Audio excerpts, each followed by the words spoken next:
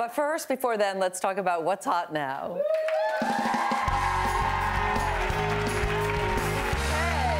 I think that dress is going to make you smarter. It's very vibrant. well. I'm dressed this way because it's Fashion Week. It's the final day of New York Fashion Week, ah. which is always a fun event in the winter. It's sort of nice to. Lovely outfit, by the way, Yamaneika. Yes, Yes, you said you were you. dressing cute today. You are looking cute. Shoes are fierce. Well, one of the things that's got a lot of people talking is there's this brand new policy by the British brand Rose and Willard that will require models to eat a meal in front of staff members when they're at a photo shoot.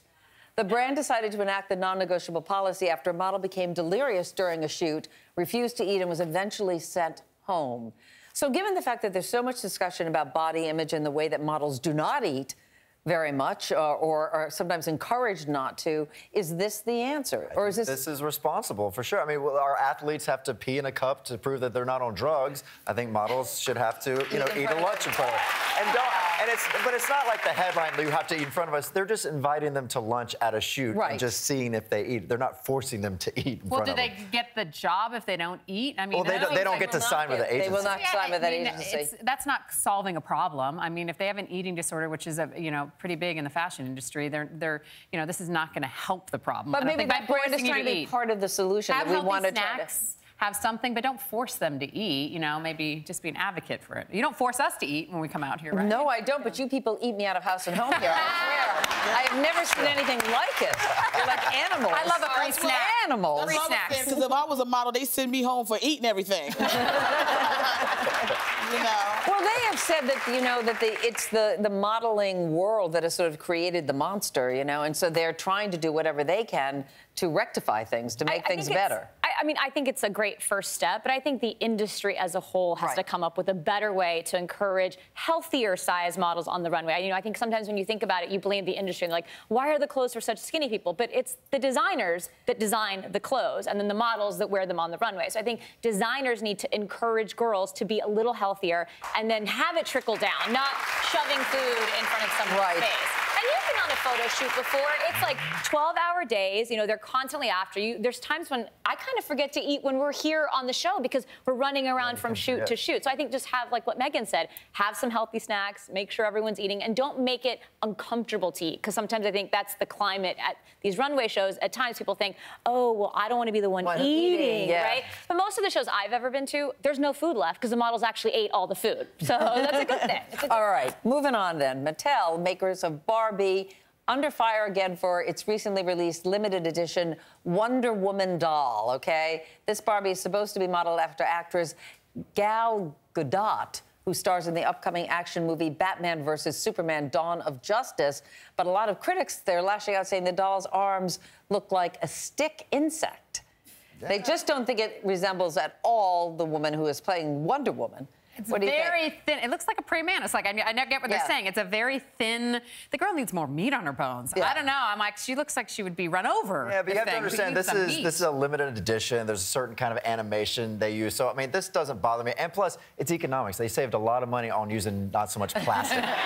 I would have, I would have it's liked to see it. I would have liked to see it more Whoa, resemble. whoa, whoa, whoa, whoa, whoa, whoa. What do you mean they use saved a lot of money? Were you talking about big dolls? What's up?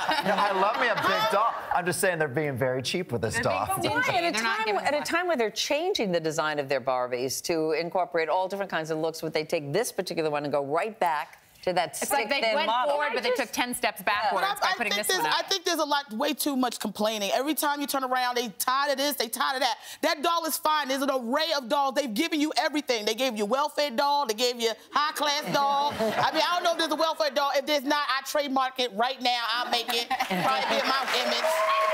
There's a lot of dolls out there. I mean, why are we complaining about this doll? It's too much. And, you know, this might not be well received, but since when is can skinny not be strong? Like I'm a pretty skinny girl, and I'm also tiny and mighty. Like I am pretty strong. I can You bench are. press. Like I lift. I'm strong. So like, why does somebody assume that some because someone's thin or skinny they can't be Well, strong? because I think you- it's. you- but we're talking it's- about the it's- healthy factor. That looked abnormal. But though, I- But here's thing, but, it is, but I think it, it's it's not a real person, right? The real person, by the way, happens to be a model. She's five foot ten, and you can guess how much she weighs. She is a model, so she has a classic thin model body. Yes, I agree that that doll, which looks more like a cartoon than a human to me, is a little thin.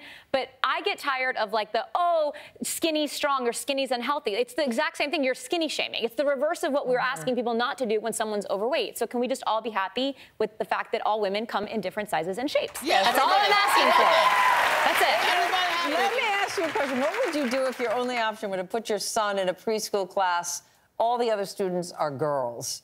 In an essay on Babble.com, a mother writes about her predicament after a spot in a competitive school finally opened up for her son, but it was in a classroom of only girls. She says she is all for changing up gender roles, letting girls play with trucks, boys play with dolls, the whole thing.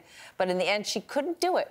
She said, I just can't put him in that school because boys and girls are not the same. And she did not think it would be a, a positive environment for him. So, what would you do in that I agree situation? with her. You do agree? Yeah, I I was going wouldn't to say, do it either. I don't necessarily agree with her. I mean, my kids play with lots of kids after school. School's Sure. only a certain part of the day. My kids are with boys, girls, every any you know Is adults. anything other than boys and girls you was getting right now? Transgender. Oh, okay. No, I'm just kidding. Okay. No, but they're with a lot of kids after school. School is a finite amount of time. Right, and, it's a you know, big chunk of their day. For mine, it's only four hours. So I said if it was too. four hours, I wouldn't have a problem with it. If I had a boy, I have girls. If they were with all boys, it The teaches them a d- empathy for different. Variety is the spice of life, and I think you know, it, with, even at an early age, you need to be surrounded by every gender, every color. Of course, there would be a school with that setup that they, because Yeah. normally they really are very thoughtful about how they pick the kids, and they pretty much divide it down the line. I mean, I went to an all-girls school, what I and I love yeah. that.